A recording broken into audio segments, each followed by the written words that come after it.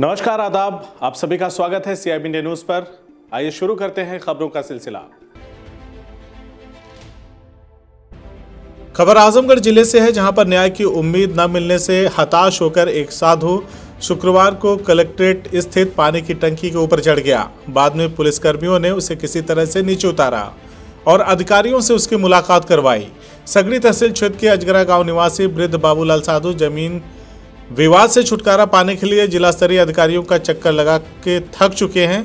शुक्रवार की सुबह 11 बजे वह पुनः कलेक्ट्रेट पहुँचे और न्याय की उम्मीद न मिलते देख हताश होकर बगल स्थित पानी की टंकी के ऊपर चढ़ गया।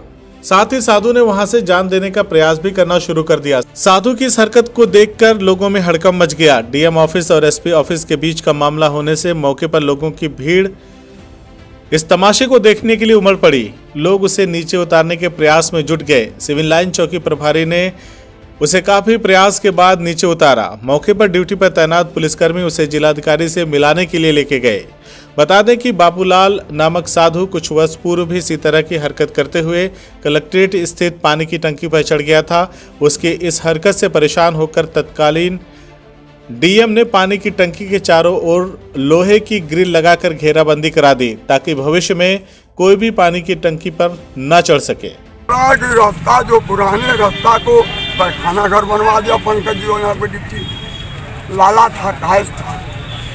उसकी औरत जो थी बनारस और वो जो है हमारे संग मीठी मीठी बात करके, हमारे तरफ़ से बात करके फिर उसके तरफ़ वाली किया। खून से काट बन जाने से। आपका नाम क्या है? और जवानी चली हार भी गया है वो। वो हार भी गया है।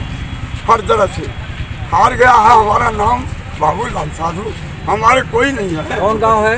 गाँव अजगड़ा अजगरा तहसील? तहसील सगड़ी कब से आप चक्कर काट रहे हैं अपनी मांग को लेकर के? से काट रहे हैं। अखिलेश की जब सरकार नहीं गिरी थी जब से काट रहे हैं हौलदार यादव उसमें जड़ बना।